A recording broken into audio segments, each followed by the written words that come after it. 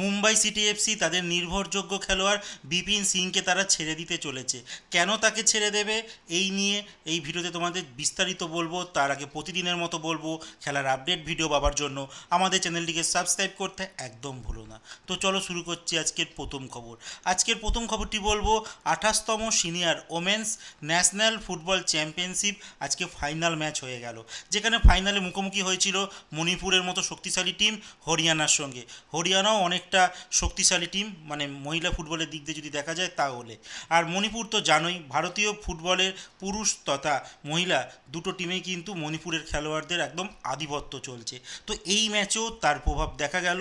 বিগত কয়েক বছরের মতো এই বছরও কিন্তু মণিপুর টিম তারা হরিয়ানাকে হারিয়ে দেয়।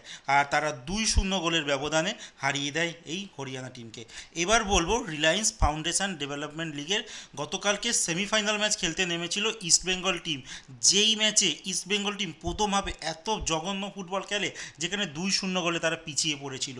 কিন্তু দ্বিতীয়ভাবে যে ইস্টবেঙ্গল টিম নামে পুরো একদম আলাদা রকমের টিম দেখে বোঝাই যাচ্ছিল না যে এই টিমটাই তারা প্রথমভাবে খেলেছে। আর ইস্টবেঙ্গল টিম পরপর দুই গোল করে টিমের সমতা ফেরায়। আর একদম খেলা শেষের দশ মিনিট আগে ইস্টবেঙ্গল টিম তিন দুই করে এগিয়ে যাচ্ছিল।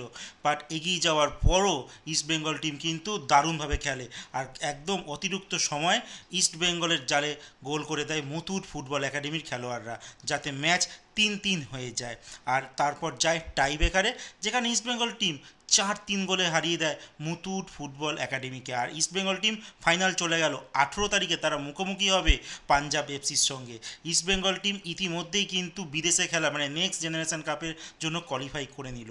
ইস্টবেঙ্গলের সিনিয়র টিম যারা এফসি কাপ খেলবে আর রিজার্ভ টিম তারা কিন্তু নেক্সট জেনারেশন কাপ খেলবে, যেটি এবছর হওয়ার কথা রয়েছে সাউথ আফ্রিকাতে এইবার বলব যে কথাটি, সেইটা হচ্ছে এফসি গোয়া একজন কাশ্মীরি তরুণকে কিন্তু সাইন করে নিয়েছে। মানে রিয়েল কাশ্মীর একজন খেলোয়াড় যার নাম মোহাম্মদ হামিদ।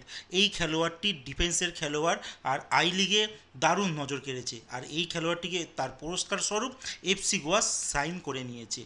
এবার বলব ইস্ট বেঙ্গলকে নিয়ে। ইস্ট বেঙ্গল বিদেশি খেলোয়াড় নিয়ে অনেক রুমার উঠছে তার মধ্যে এখন আরেকটি খেলোয়াড়ের রুমার কিন্তু উঠে এসেছে।